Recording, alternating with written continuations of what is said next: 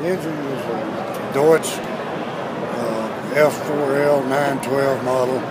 They're air-cooled engines built in Germany. Took this engine out of a concrete curb machine and then uh, built the adapters and everything to put a granny four-speed on it.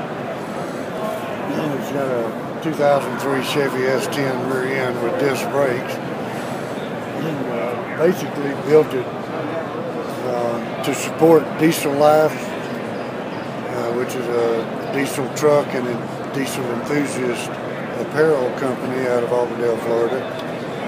Uh, it is totally street legal, it's licensed and insured and everything, and it tops out around 75 miles an hour, cruises at 65 just all day long gets around 60 miles to the gallon with that engine and the gear ratio and the, tires that's on it.